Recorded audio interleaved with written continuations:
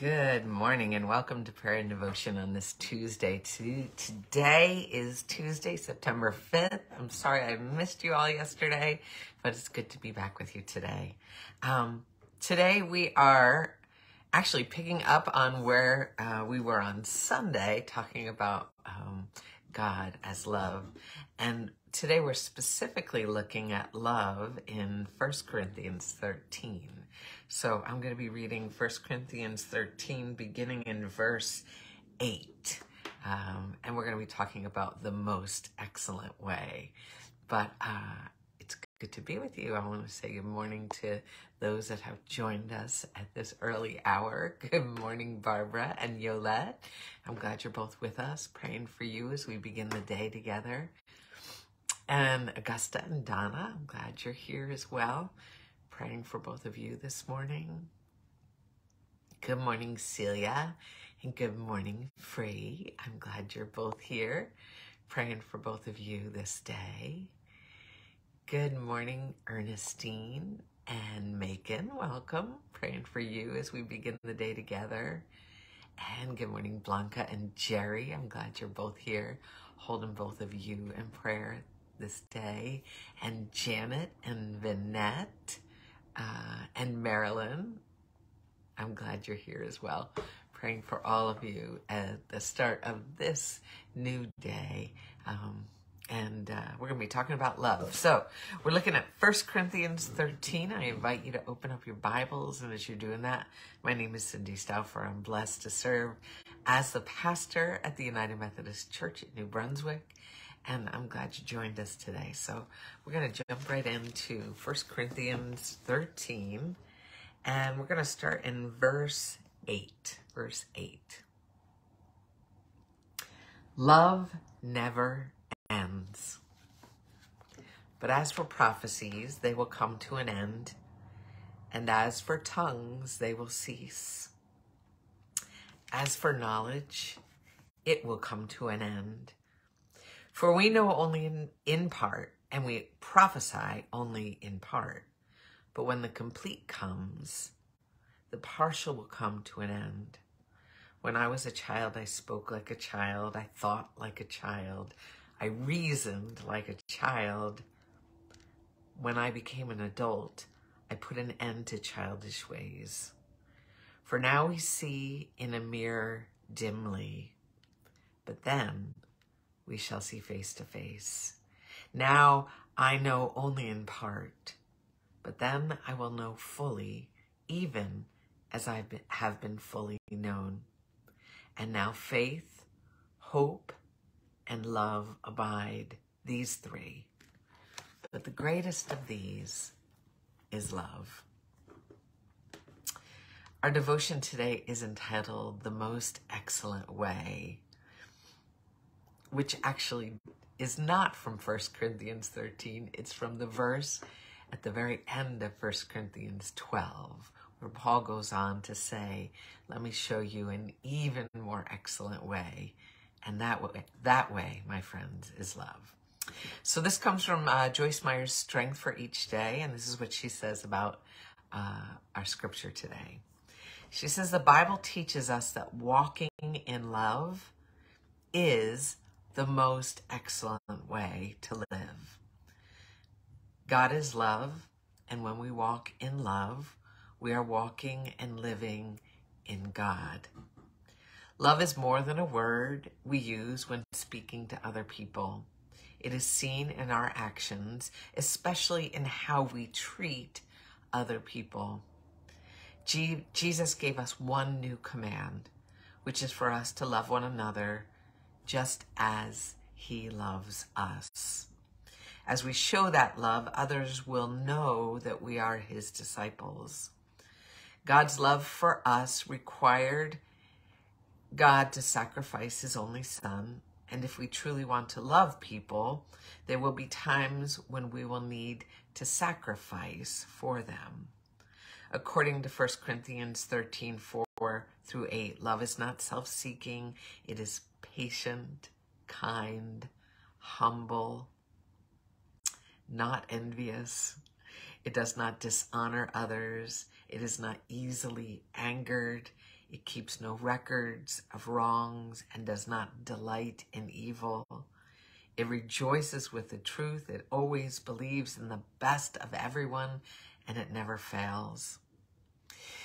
If we focus on loving God and loving other people, we will live the life that God desires for us to live. If we focus on loving God and loving other people, we will live the life that God wants for us. No matter what so called good works we may do, if we don't have love, we simply make a lot of noise and amount to nothing. Uh, so, oh man, I think it's going on 13 years. Is really, you, you lose track after a while, but yeah, 13 years. Um, when, and if you've heard this before, I apologize, but when um, my mother was diagnosed with brain cancer, uh, she was a preacher before, a pastor, but she talked a lot. Um, and uh, so her voice, before that, she she'd sing. So I mean, in many ways, we're very similar. Um, so her voice was always very important to her. But when uh, the brain cancer came, it it landed on the part of her brain where speech was, and she knew this early on because the first effects were to her voice. So, uh, it, as the as the tumor grew, she lost her ability to speak, which was really hard, you know, because it she had things she wanted to say, um, and in the end, she wasn't able to. But uh, at her memorial service, I preached one of my first sermons. It was before I was a local pastor, I mean, in the local church preaching. And I preached on this passage. Um, because when tongues cease, there's still love. Like we think that love is these words that we hear or this feeling that we feel, but love is so much deeper than that. So when my mom lost her ability to talk, her eyes would tell me everything. I would just be able to look in her eyes and I knew the depth of her love. And so I preached from this message, the depth of love that, that came even when tongues cease. And I experienced that again the other day with someone else uh, who spoke volumes of love through their eyes. Um, my point in telling you this is we have these ideas of what love should look like, what love should be, you know, it, what love should feel like. But the truth is, love is written on our hearts.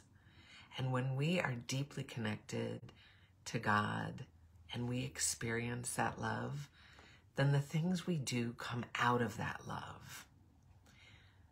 We choose the the stuff that we do throughout our day. We choose to do it in love. And I want you to imagine what your day, we have a choice. Every day we have a choice. We can go through our day and do the things that we do. We can do it with anger in our hearts. We can do it with frustration. We can do it with exhaustion. Um, all of those things are, are possible. Every act that we do can come from a different place, right? And if our, but if our hearts are focused on God's love, then everything we do has a different um, uh, it, it's not just the, the the thing that needs to be completed but it is god it's it's an it's an opportunity for us to share god's love in all that we do. And it doesn't have to be words. It can just be the way that we look at one another with kindness the way that we are patient with one another the way that we choose our words and not let um, anger uh, guide our hearts. We have these choices each day to be God's love, to show God's love, to offer compassion and mercy and grace and peace, to be about the work of justice. Um, all of this comes from God's love for us. So Lauren Daigle sang, I, you know, it's hard to imagine a love like this. This is how God loves you so deeply, so profoundly. And if you have been loved like this, then love yourself in the same way and love one another. So today, as you go through your day, let the stuff on your list be an opportunity to share God's love in the midst of it. How will that, what will that look like for you? Will you choose words of kindness and compassion? And maybe it's not words at all. Maybe it's just um, in your eyes or, or more importantly, deeply ingrained in your heart. Because, my friends, you are loved. Let's pray.